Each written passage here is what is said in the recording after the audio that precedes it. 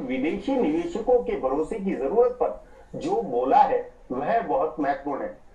नरेंद्र मोदी आर्थिक कायाकल्प में सुशासन के अलग अप्रोच लिए हुए हैं। सबसे पहले, पिछली तारीख से कराधान के जमेले पर उन्हें जाना जाए। टैक्सेशन के संबंध में कोई एक आपकी विश्वसनीय नीति होनी चाहिए।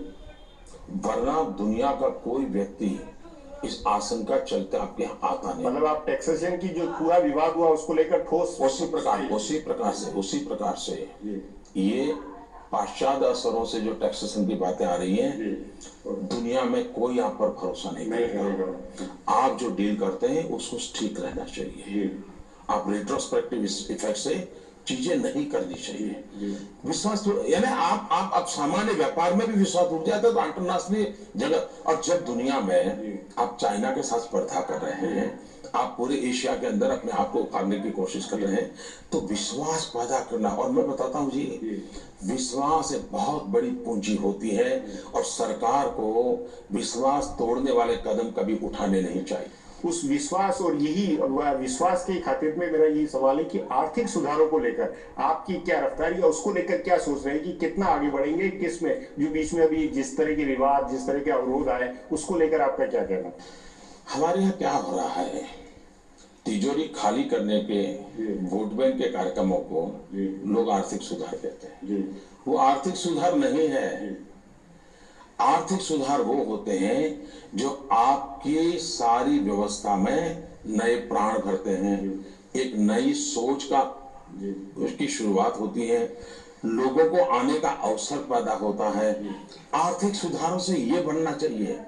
आपने तो इतने कानूनों के जंगल बनाते जा रहे हो कानूनों के जंगल बनाते जा रहे हो।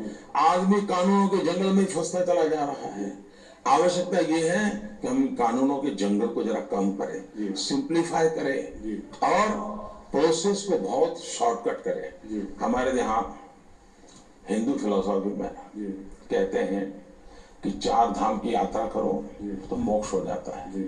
लेकिन हमारी सरकारों में फ़ाइल है चालीस धाम की यात्रा पूरी करे तब भी फ़ाइल का मोक्ष नहीं होता। है ये ये बंद होना चाहिए। क्यों क्यों ना हम व्यवस्थाओं को सिंक्रोनाइज कर दूसरा टेक्नोलॉजी से ट्रांसपेरेंसी ला दिया। अब एनवायरमेंट मैं बताता हूँ। क्या कारण है कि एनवायरमेंट के नाम पर सारे प्रोजेक्ट रोक दिए जाए? सिग्नेचर की हुई फाइलें पड़ी है। क्यों पड़ी है? आखिर के मंत्रियों को बदलना पड़ रहा है। क्यों बदलना पड़ रहा है? कितनी गंभीर समस्या है। और इसलिए हम जब जितनी बड़ी मात्रा में टेक्नोलॉजी का उपयोग करेंगे चाहे ई प्रोक्योरमेंट हो ई टेंडरिंग हो ह्यूमन इंटरवेंशन जितना कम करेंगे दुनिया के देशों का विश्वास बढ़ेगा। मतलब ये सुशासन के आपके जो पैरामीटर में ये सारी चीज़ें आती है। ये सुशासन के ही नहीं है। सुशासन के तो है ही है।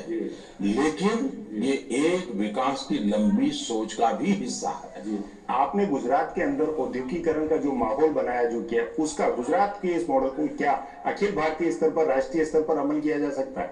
पहली बात यह है। उस पर कितना फोकस रहेगा पहली बात यह है भारत एक संघीय ढांचा है। हमने राज्यों को प्रोत्साहित करना चाहिए।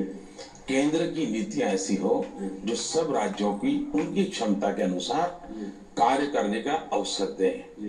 अगर मुझे मान लीजिए दिल्ली में के सरकार के पास किसी देश का एक डेलीगेशन आया वो इन्वेस्टमेंट करना चाहता है तो दिल्ली सरकार कहा इन्वेस्टमेंट कराएगी उसका काम है कि वो मान लीजिए भाई बिहार में इन्वेस्टमेंट करने योग्य है तो बिहार की सरकार से उनको मेल करवा दे, उनको विश्वास दे। उसको विश्वास होना चाहिए, बिहार की सरकार और दिल्ली की सरकार दोनों मेरे साथ है। आज वो एनवायरमेंट नहीं है। आज वो एनवायरमेंट नहीं, आपको मैं हैरान होगी। गुजरात में हमने वाइब्रेंट गुजरात समिट किया, दुनिया भर के इन्वेस्टर्स यहाँ आए। भारत सरकार के इनकम टैक्स डिपार्टमेंट ने नोटिस भेज दिया कि तुम गुजरात क्यों जा रहे हो? दिल्ली सरकार ने राज्यों के विकास में कभी आड़े नहीं आना चाहिए। औद्योगिक विकास के लिए ये बातें बहुत बड़ी मदद करती है। ऐसे ही राष्ट्रीय सुरक्षा के मामले में भी नरेंद्र मोदी की दृष्टि अलग है। सुरक्षा के मसले पर वे केंद्र सरकार के मंत्रालयों के कामकाज का सवाल उठाते हैं। पहली बात है भारत सरकार के पास जितने डिपार्टमेंट है वो मेजरेबली फेल हुए हैं। जिन डिपार्टमेंट विभागों में थोड़ा राज्य का कंट्रीब्यूशन थोड़ा कोई भी हुआ है। लेकिन जो भारत सरकार के डिपार्टमेंट चाहे एविएशन हो चाहे फॉरेन पॉलिसी हो चाहे डिफेंस हो चाहे इंटरनल सिक्योरिटी हो मिजरेबली फेल गए हैं। आप देखिए रक्षा के क्षेत्र में कभी हमने देखा है कि सेना और डिफेंस मिनिस्टर के बीच में तनाव हो? साठ साल हो गए इंदिरा जी जी जैसे लोग राज करते थे। क्या कभी सेना में हिंदू कौन मुसलमान कौन? ये गिनती करने का पाप हुआ है क्या? ये काम किया जा रहा है। आज देखिए हमारी पनडुबियाँ डूब रही है हमारे सेना के जवान मारे। क्यों? सब कहते हैं भाई फाइनेंशियल सपोर्ट नहीं है डिसीज़न मेकिंग प्रोसेस नहीं है। इसलिए हमारे संसाधनों को भी हम आधुनिक नहीं कर पा रहे हैं।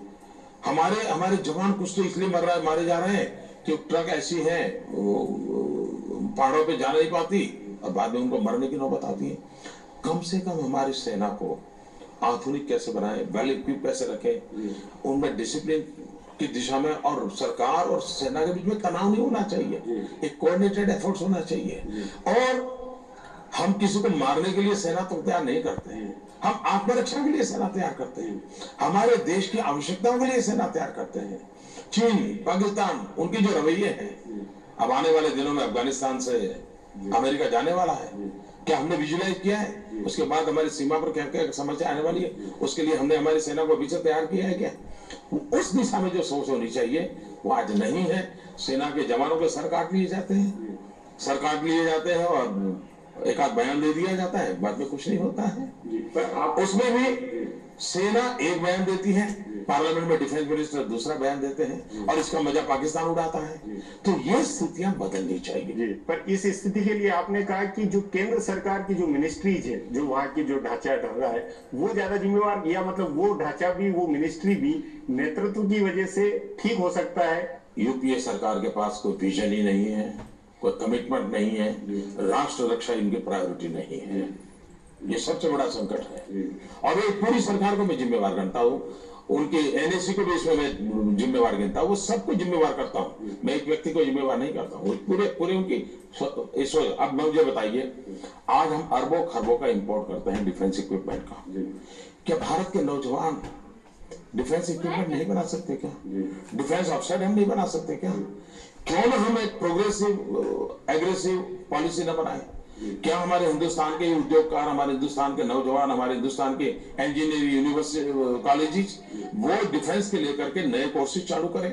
और हम अपनी आवश्यकताओं के अनुसार हमारे साधन हम बनाएँ। और क्यों हिंदुस्तान सपना न देखें कि हम आज दुनिया से हम शस्त्रास्त्र इंपोर्ट करते हैं, हम वो ड्रीम करें कि हम दुनिया के देशों को एक्सपोर्ट करेंगे। अगर ये करेंगे तो देश के नौजवानों को रोज़गार मिलेगा फॉरेन एक्सचेंज का संकट बंद हो जाएगा और भारत आत्मनिर्भर बनेगा।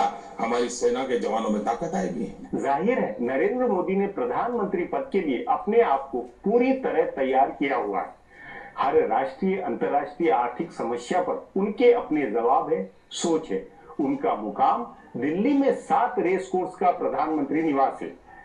इसलिए मैं ये पूछने से अपने को रोक नहीं पाया कि यदि उनका सपना साकार हुआ, यदि वे शपथ के लिए राष्ट्रपति भवन पहुँचे तो ऐसा होना वे किसकी बदौलत मानेंगे? नियति और भाग्य की बदौलत या कर्म की बदौलत?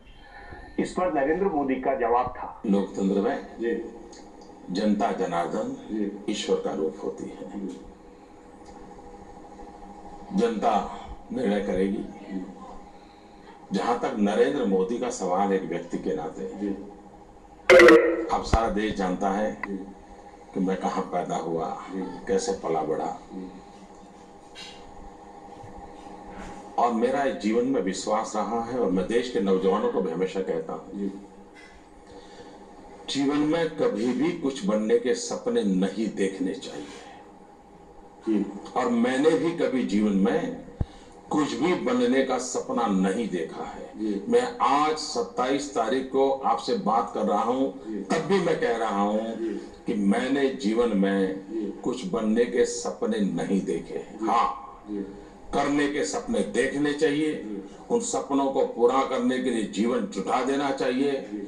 और मेरा क्या कर रहा है?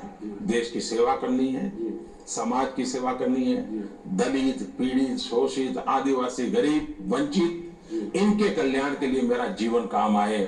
इस मकसद से घर छोड़ा है इसी मकसद से परिवार छोड़ा है इसी मकसद से गाँव छोड़ा है। भारत मेरी माँ है सवा सौ करोड़ देशवासी मेरा परिवार है उस परिवार में मैं खप चुका हूँ और यही करने का लेकर के सपना लेकर निकला। इसी पर बनने का सपना नहीं करने का सपना ये मैं बार बार कहता हूँ। बनना वाली बहुत छोटी बातें होती है कुछ करना ये बहुत बड़ी बात है। आप बचपन से अपने इरादों के धुनी रहे कुछ करने के धुनी रहे और उसी लिए घर बार छोड़कर प्रचारक बने।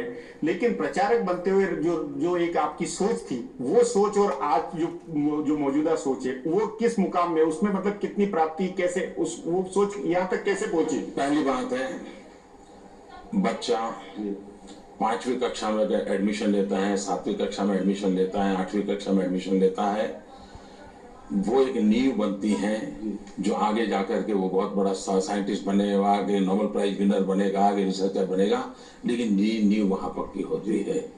मुझे बचपन में राष्ट्रीय स्वयंसेवक संघ के द्वारा देश के लिए जीने के संस्कार मिले हैं। डिसिप्लिन से जीने के लिए संस्कार मिले हैं। कठोर परिश्रम करने के लिए संस्कार मिले हैं। खुद के लिए नहीं, औरों के लिए सोचने के संस्कार मिले हैं। और मैं इसके लिए राष्ट्रीय स्वयंसेवक संघ का ऋणी हूँ। जिन्होंने मुझे स्वयं, आज लोग मैं जब दौरा करता हूँ, लोग मुझे पूछते हैं मोदी जी आप थकते नहीं हो क्या? आप सुबह शाम इतने दिनों से दौड़ रहे हो? उसका मूल कारण है, संघ के अंदर कठोर परिश्रम की मेरी ट्रेनिंग हुई है।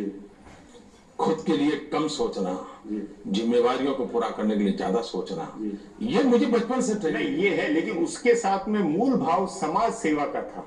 लेकिन समाज सेवा के साथ राज या सत्ता का जो ये जो मुकाम बना ये ये कन्वर्ट कैसे मेरे लिए आज भी राजनीतिक क्षेत्र ये एम्बिशन नहीं है एक मिशन है।